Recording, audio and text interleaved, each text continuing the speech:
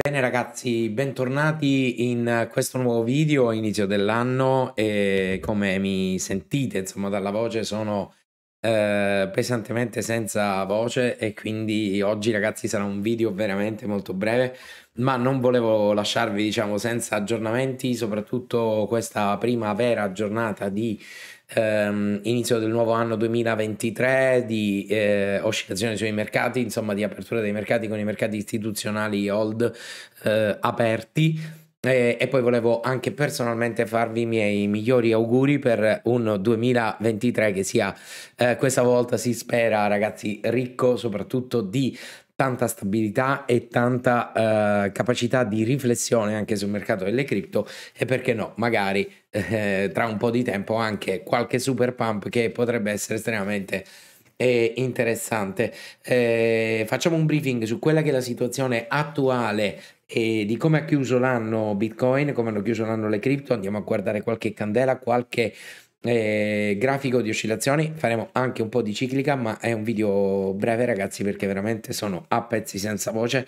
perciò eh, lasciatemi anche un mi piace di cuore veramente perché eh, lo faccio veramente con affetto perché mi mancate ogni volta che non faccio il video quindi mi fa molto piacere diciamo stare qui sul canale, però veramente oggi una sofferenza. Eh, abbiamo il grafico di Solana qui davanti, ma lo vediamo dopo perché volevo prima aprire il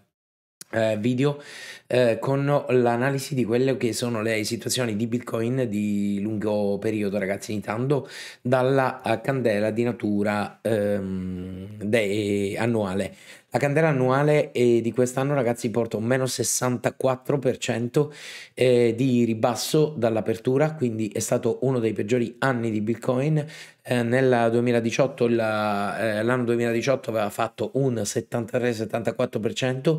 e mm, l'anno invece del 2014 il 56% e, e, mm, e per cento. Poi dopo, mm, insomma, precedentemente non ci sono i dati, questo è il grafico di Bitstamp. Eh, andando ad analizzare questa candela, quindi sembrerebbe in realtà non un risultato negativo come quello del 2018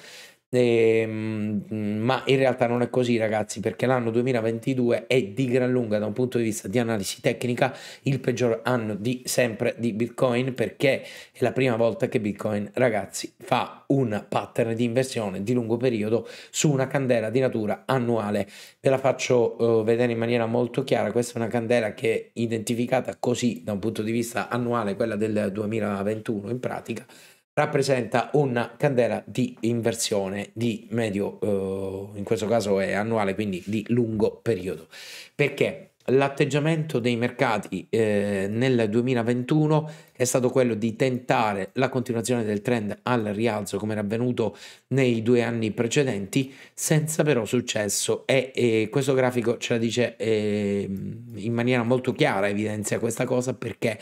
perché la shadow rialzista è molto pronunciata ragazzi. Questo significa che da un punto di vista di struttura di analisi tecnica questa è una candela di eh, massimo storico di un asset finanziario perché ha creato un eh, massimo. Poi il mercato non è riuscito a stare in questa zona è andato a chiudere molto al di sotto e a livello di range eh, tra le altre cose ha chiuso in un range quasi ehm, eh, mediano, quasi inferiore alla metà dell'intera candela. Eh, questa cosa eh, solitamente è un segnale di debolezza, cioè un segnale che indica che il mercato, quell'asset in questione, è arrivato ad un livello di massimo eh, molto rilevante. Se non che poi questo tipo di candela viene quasi sempre confermata dalla candela successiva, in questo caso la candela annuale del 2022, come con un breakout dei minimi, cosa che è avvenuta nella, nell'anno 2022. I minimi erano 27,7, breakout questo livello, se vi ricordate, magari qualcuno di voi ho notato che si ricordava anche quando vi dissi che e breccato il minimo della candela annuale sarebbe crollati a picco in maniera in, in, diciamo senza possibilità di recupero perché dovevamo andare a creare il minimo poi dell'anno. Minimo che ovviamente è stato molto pesante intorno ai 15.000 nell'anno 2022 ma questa fase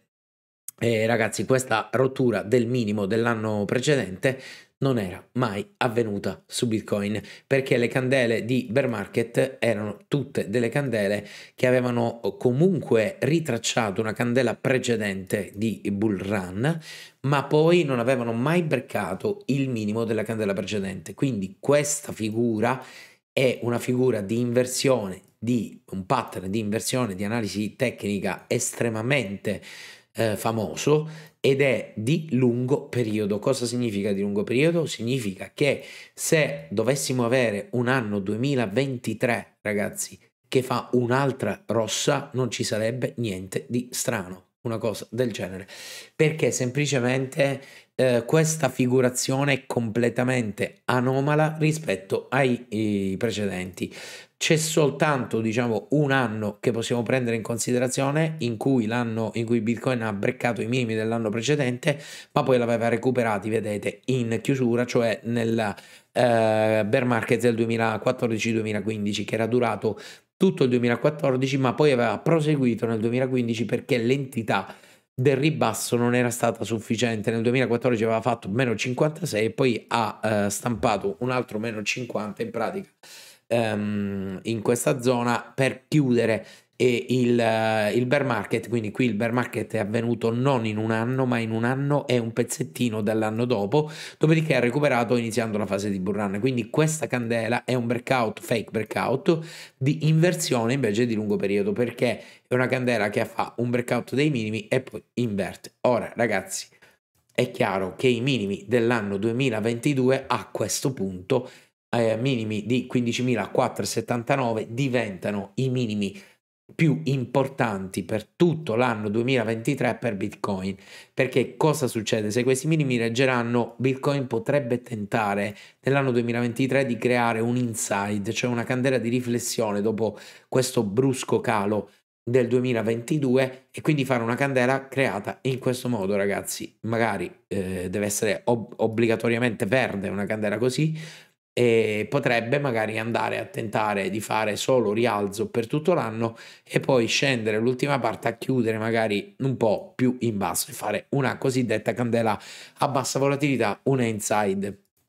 Ovviamente ragazzi è poco probabile perché la probabilità più alta come un po' tutti quanti insomma si stanno aspettando, questo forse potrebbe essere in effetti l'unica arma a favore di una fase rialzista per il 2023 la, ma la probabilità più eh, alta è che questa candela vada a identificare un nuovo minimo in questa zona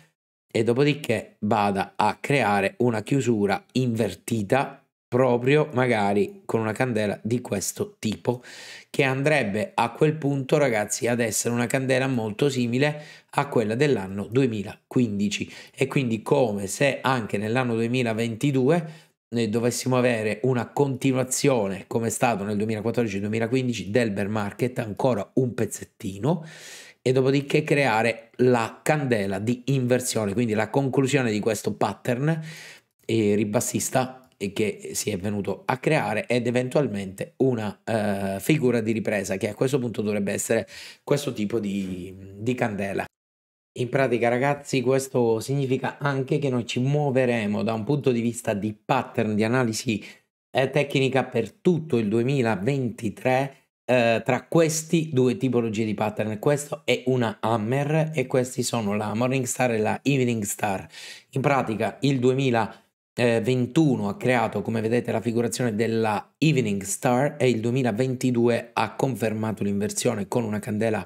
ehm, verde, ve la faccio vedere e di nuovo, vedete questa è una eh, Evening Star confermata da una candela eh, rossa che poi ha breccato quindi il minimo, quindi l'ha confermata l'inversione. Uh, se dovessimo um, avere un'altra pattern di inversione come questa, quindi dovesse ripetersi la questione che il 2023 farà il vero minimo del bear market, a quel punto avremo la configurazione di una Morning Star, quindi una figura di questo tipo, come vedete, quindi una ehm, piccola candela di un anno 2023 che avrà un minimo leggermente inferiore all'anno 2022 e poi si chiuderà magari in verde, oppure una figura di Hammer, cioè con un minimo molto pronunciato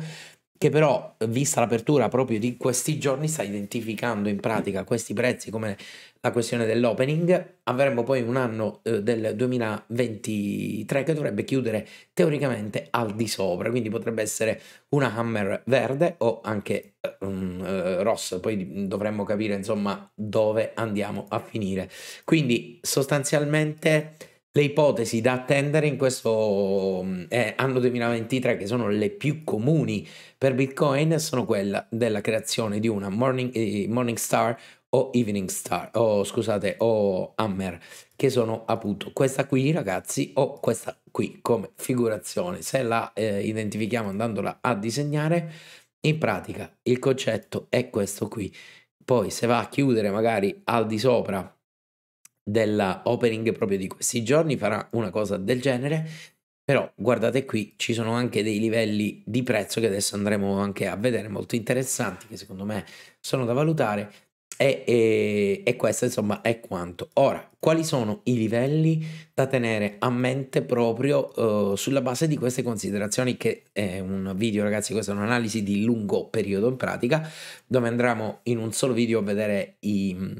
teoricamente i pivot, supporti e resistenze dell'intero anno in maniera molto tecnica. Intanto andiamo a guardare quelli degli anni 2017, 2018, 2019. Hanno qualcosa in comune cioè il livello di massimo a 20.000, eh, i, scusate, il livello di close dell'anno 2017 13.008,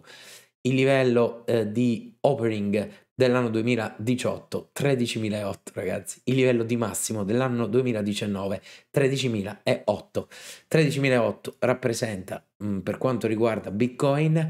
un prezzo estremamente rilevante e perché? Perché per anni, ragazzi, non è riuscito Bitcoin a superarlo. Uno, due, tre anni chiudendoci sopra. Lo toccava, ci saliva su, ma non ci ha mai chiuso. Questo significa che probabilmente è, è questo livello, anche se è un po' passato, poi il tempo è passato, però risulterà essere estremamente rilevante in termini di supporto. Quindi questo è un super supporto per l'anno 2020 eh, 23 che è un supporto da tenere fortemente in considerazione anche in vista del fatto che rappresenta una eh, struttura eh, rilevante anche in, in, termini della candela dell'anno 2020 perché è metà di questa candela quindi molto interessante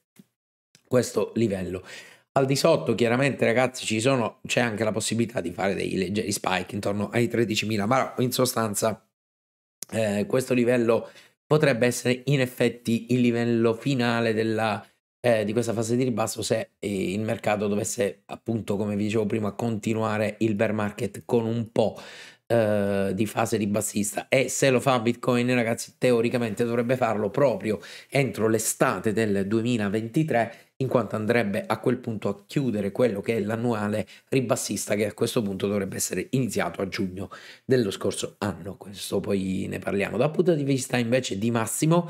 eh, abbiamo dei livelli che sono abbastanza distanti. Intanto questo è un livello chiave, vedete il massimo del 2020 corrispondente anche al minimo del 2021 e al metà di questa candela, quindi questo livello che sono i 29 mila mm, dollari sono, uh, è un livello di super resistenza a, diciamo abbastanza rilevante ovviamente. E ricordatevi sempre che non è possibile eh, oscillare diciamo sul dollaro preciso perché stiamo facendo eh, un'analisi di lunghissimo periodo quindi ovviamente eh, è intorno a questa cifra ricordatevi sempre il concetto degli intorni io metterò 28 e 2 e in questo caso. Questa è una resistenza molto rilevante per il 2023 e questo è un supporto molto rilevante. Morale della favola, ragazzi, il 2023 potrebbe sviluppare una candela che dai minimi ai massimi eh, può fare un 100 punti, vedete, ma il range in sostanza sarà eh, piccolino, quindi non eh, molto molto ampio perché eh, potrebbe diciamo fare un range vedete tra massimo e minimo di 40-50 punti oppure poi da minimo e massimo ovviamente il doppio no? perché c'è la questione della probabilità dipende quale tocca prima. Però teoricamente ci sono delle ottime opportunità anche in quest'anno, ragazzi, perché qualora Bitcoin dovesse andare a toccare uno di questi due livelli, prima una resistenza, prima un supporto, potremmo sviluppare delle strategie di trading eh, pianificate al dettaglio di buy the dip, per esempio, o dei short the up eh, che potrebbero essere estremamente rilevanti e, e, essere di lungo periodo, ma portare a casa comunque un discreto gain. Poi, eh, diciamo, queste sono le strategie che io vado a sviluppare sostanzialmente nella mia Academy, le seguiremo costantemente. Mm, questa eh, tecnica che vi sto spiegando oggi, ragazzi, è una tecnica che serve a tracciare quello che è il percorso magari di una eh, asset finanziario di quello che può fare per l'intero anno. Poi all'interno di questo percorso è come se abbiamo identificato il cosiddetto ring del, del, del, del mercato, poi all'interno di questo mercato andremo a fare le nostre consuete analisi, analisi di medio periodo, di brevissimo periodo per il trading intraday, insomma ci possiamo muovere in maniera più comoda. Teoricamente però volevo appunto farvi vedere questo che era la eh, struttura secondo me attraverso oh, diciamo di quest'anno dove potremmo vedere muovere Bitcoin proprio eh, nel 2023. Faremo poi il punto di, di, questa situazione, io lascerò questo grafico come sempre eh, per voi e mh, mm, andremo a ragionare un po' su tutto. Eh, allora, detto questo ragazzi, anomalia sicuramente l'anno 2022 che fa un'inversione andando a beccare i minimi dell'anno precedente, cosa che Bitcoin non aveva mai fatta, l'aveva fatta solo nel 2015, ma non era